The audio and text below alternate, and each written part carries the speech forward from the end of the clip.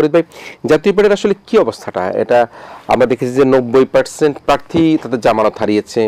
শরীফা কাদের তাদের ভেটারান একজন লিডার তিনি পরাজিত হয়েছেন। ছাব্বিশটির মধ্যে এগারোটি আসনে জয়লাভ করেছেন। জি এম কাদের সাহেব এবং চুন্নু সাহেবরা ভোটের আগে একবার ভোটে যাবেন কি যাবেন না, শপথ গ্রহণ করবেন করবেন না, কিন্তু ইতিমধ্যে আজকে একটা নতুন জিনিস তৈরি হয়েছে। সেটা হচ্ছে প্রায় ছয়শোর উপরে নেতাকর্মী আজকে পদত্যাগ করেছে প্রেস ক্লাবে এটা আনুষ্ঠানিকভাবে। তো জাতীয় পার্টির অবস্থাটাকে আপনি কীভাবে দেখেন? দেখুন, জাতীয় পার্টির অবস্থাটা যেটা নিঃসন্দেহে তারা একটা সংকটের মধ্যে আছে। সংকটের মধ্যে আছে এবং জাতীয় পার্টি, আপনি যদি সংকটটা যদি আজকে এখনকার ঘটনা দিয়ে বর্ণনা করেন, তাহলে খণ্ডিতভাবে হবে। আমি মনে করি যে আরও পিছনে যাওয়া দরকার। আপনি জানেন যে দুই হাজার চোদ্দ সালে নির্বাচনের সময় তো এরশাদ যখন জীবিত ছিলেন, যখন নেতৃত্বে ছিলেন, তখনও তার নেতৃত্ব নিয়ে কিন্তু বিভিন্ন রকমের কি বলে যে প্রশ্ন ছিল। তিনিও কিন্তু এক ধরনের বিদ্রোহের মধ্যে তাকে পড়তে হয়েছে। কিন্তু তখন যে- জায়গাটা ছিল যে জাতীয় পার্টিকে নিয়ে যারা ক্ষমতাসীন তারা সেই তখন এরশাদকে নিয়ে তারা খেলতে পেরেছে। যেমন ধরেন তিনি চোদ্দ সালে একবার বললেন যে আমি নির্বাচনে অংশগ্রহণ করব না। কিন্তু দেখা গেল যে তাকে শেষ পর্যন্ত এমন একটা অবস্থার মধ্যে তিনি পড়লেন যে তিনি আবার শেষ মুহূর্তে নির্বাচন করবেন এমন একটা অবস্থা হলো। আবার ইতিমধ্যে অনেকেই নির্বাচন থেকে মানে তার দলের প্রত্যাহার করে ফেলেছে, কিন্তু তিনি তার নিজের প্রার্থিত মানে প্রত্যাহার করতে পারেন এই ঘটনাগুলো এই জন্য যে কখনই কিন্তু জাতীয় পার্টি এরশাদের পতনের পরে এবং তার পরবর্তী যে ঘটনাগুলো, তার বিরুদ্ধে বিভিন্ন ধরনের মামলা ছিল, ইত্যাদি ছিল, সে ঠিকমতো নেতৃত্ব দিতে পারছিল না। সেখান থেকেই জাতীয় পার্টি আস্তে আস্তে তার ক্ষয় হতে শুরু করে। নেতৃত্বের মধ্যে এরশাদ সাহেব যখন চলে গেলেন, তখন রসন এরশাদ এবং এরা দেখুন সেই অর্থে নেতৃত্বের যে মানে একটা একটা এই ধরনের দলকে একটা নেতৃত্ব দিতে পারার মতো যে ঘোরাঘুরি থাকা দরকার বা যে দক্ষতা থাকা দরকার সেগুলো নিয়েও প্রশ্ন আছে। তারপরে এমনি করে করেন কারণ তারা তো স্বাভাবিক রাজনৈতিক প্রক্রিয়া আসেনি। তারা এসেছে স্বামীর বদলে কেউ কেউ মানে আহ, আহ, কি বলে ভাইয়ের বদলে এইভাবে তো আসছে। তো এখানে তো তারা মানে আমরা যাদেরকে বলি পেশাজীবী রাজনীতিবিদ, সেরকম না, রাজনৈতিক অভিজ্ঞতার ব্যাপার না। এমনি করে করে আসে, দুই হাজার চোদ্দোতে কী দাঁড়াল? দুই হাজার চোদ্দোতেও তারা যে ভূমিকাটা পালন করল, সেটাতে অদ্ভুত একটা পরিস্থিতি ছিল বাংলাদেশে কিন্তু রাজনীতির ইতিহাস একসময় লেখা হলে, অনেকগুলো ঘটনা মানুষের কাছে, বাইরের মানুষের কাছেও কিন্তু বিস্ময় মানে সৃষ্টি করবে। তারা এখনও হয়তো আলাপ আলোচনা করে। সেটা হচ্ছে যে আপনি একদিকে বিরোধী দলের কাতারেও বসছেন আর একদিকে আপনি সরকারের বিশেষ দূত আসছেন আবার মন্ত্রিত্ব নিচ্ছেন।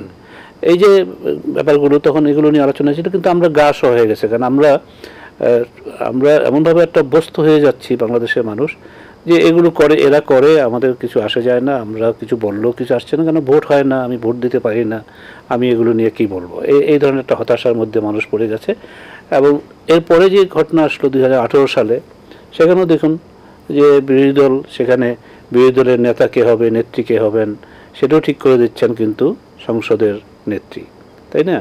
এবং তাদের মধ্যে মিট দলীয় রসনের সাথে সাথে তার জি এম কাদেরের যেটা দ্বন্দ্ব সালিশ বৈঠকগুলি সেই সারিস বৈঠকগুলো একবার জি এম কাদের রসনের সাদের অনুপস্থিতিতে তারা তিনি বিরোধী দলের নেতা হয়ে গেলেন। চিঠি দিলেন। সেটা চিঠি দিলেন এবং সব কিছু করলেন। স্পিকারের কাছে চিঠি দিলেন কিন্তু স্পিকার সেটা গ্রহণ করলেন না। আবার পরবর্তীতে রসনের সাথে যখন ফিরে এলেন তখন প্রধানমন্ত্রীর সাথে দেখা করলেন প্রধানমন্ত্রী বললেন যে না আপনিই থাকবেন বিরোধী দলের নেত্রী। কাজে এই যে জিনিসগুলো এগুলোতে কি বোঝায়। তারপর এবারে যখন নির্বাচন করলেন তারা তারা ছাব্বিশটা আসন নিলেন ছাব্বিশটা আসন আওয়ামী লীগের সঙ্গে সমঝোতার মাধ্যমে। আর বাকিগুলোকে তারা মানে ছেড়ে দিলেন তাদের মানে কোনো হিসাবের মধ্যেই রাখলেন না দলের। এবং সেখানেই তো আপনি যেটা বললেন যে ছাব্বিশের মধ্যেও বোধহয় আছে কিন্তু ওখানে তো আপনার অনেকেই জামানত হারিয়েছে। আর ছাব্বিশের মধ্যে থেকে তারা এগারো জন আহ, জিতে আসতে পেরেছে। এখানে এই জায়গাটার মধ্যে তাদের দলের মধ্যে রসনের সাথে তো আসে তিনি তো এলেনই না নির্বাচনে। তখনই আসছে তাদের দলের মধ্যে বিদ্রোহ ইত্যাদি। এমন যে কথাটা সবচেয়ে সামনে এগিয়ে আসছে যে তোমরা টাকা নিয়েছো এবং সরাসরি তারা দলের সভাপতি এবং সাধারণ সম্পাদক তাদেরকে উদ্দেশ্য করে বলেছে যে আপনারা টাকা নিয়ে এটা করেছেন এবং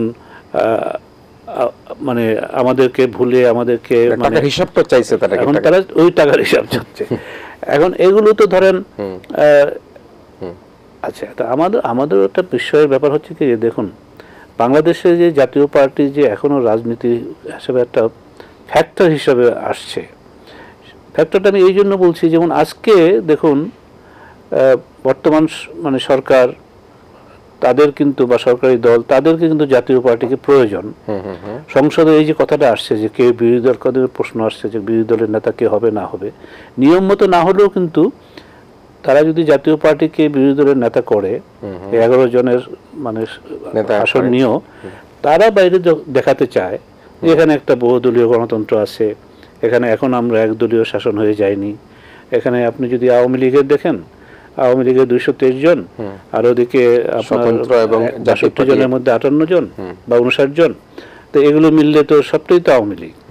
তো আপনি যদি ডাইনো যান আওয়ামী লীগ বায়ো যান আওয়ামী লীগ তো বা উপরে তাকান নিচে তাকান যেখানেই তাকান আওয়ামী লীগ। তো এর মধ্যে এগারো জনকে এবং এই এগারো জন আবার তারা ওই সমঝোতার মাধ্যমে আওয়ামী লীগের সঙ্গে এসছে। তারপরে তারাও কতটা জোরদার আওয়ামী লীগ বিরোধী হতে পারবেন সেরকম না।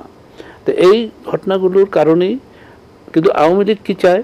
যে না একটা বিরোধী দল আছে বিরোধী দলের নেতা আছে নিয়ম মতো হোক বা না হোক বিরোধী দলের নেতা দাঁড়িয়ে বক্তৃতা দিবে। আপনি যখন বাজেট হবে বাজেটের শেষে বিরোধী বিরোধী দলের পক্ষ থেকে প্রতিবাদ হবে আবার এটা হবে।